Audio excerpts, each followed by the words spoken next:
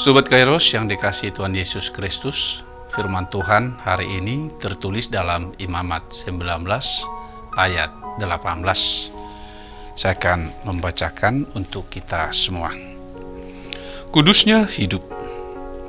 Janganlah engkau menuntut balas, dan janganlah menaruh dendam terhadap orang-orang sebangsamu, melainkan kasihilah sesamamu manusia, seperti dirimu sendiri akulah Tuhan. Demikian pembacaan firman Tuhan.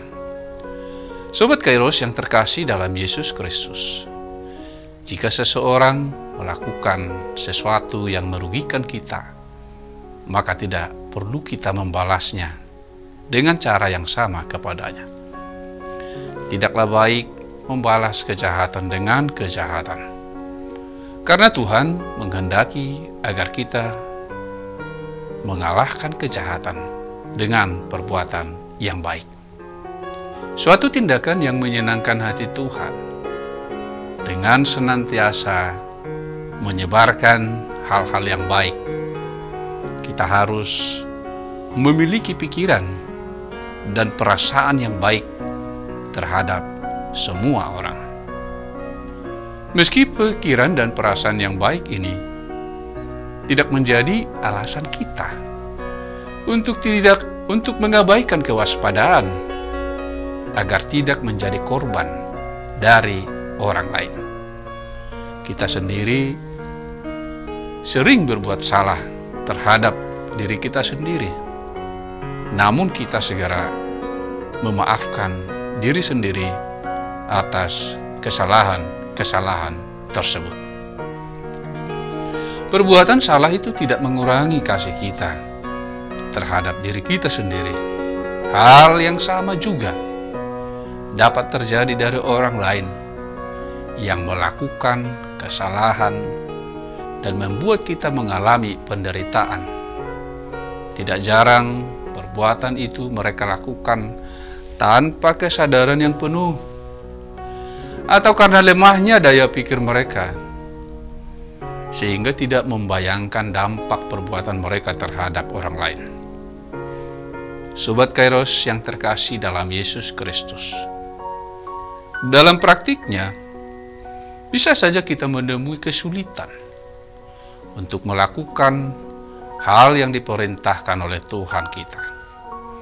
Pikiran kita bisa saja masih teringat akan hal-hal yang merugikan dan menyakitkan kita mungkin juga pikiran kita memberikan pertimbangan yang adil, agar mereka yang melakukan hal yang jahat itu dapat merasakan penderitaan yang serupa, agar mereka menyesali dan tidak mengulangi perbuatannya.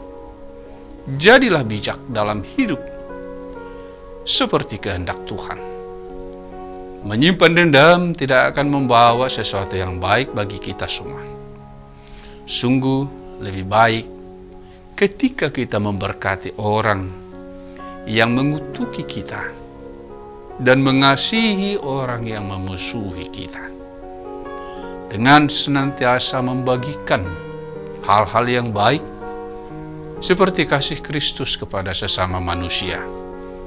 Maka kita itu sudah melakukan hal yang baik dengan tidak menyimpan dendam atau bermaksud membalaskan kejahatan dengan kejahatan yang pada akhirnya tidak akan membawa suatu akhir yang baik.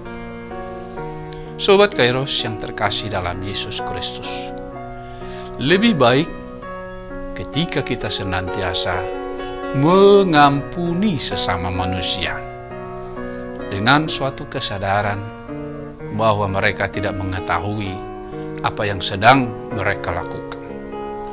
Mereka melakukan hal-hal itu dengan berbagai alasan yang mungkin dapat kita bantu dengan perbuatan baik kita. Mereka dapat merasa lebih baik ketika ada respon yang baik atas tindakan mereka yang tidak menyenangkan itu. Sehingga mereka dapat tersadar bahwa perbuatannya itu tidak baik dan harus dihentikan. Kita terpanggil untuk menerangi dan menggarami.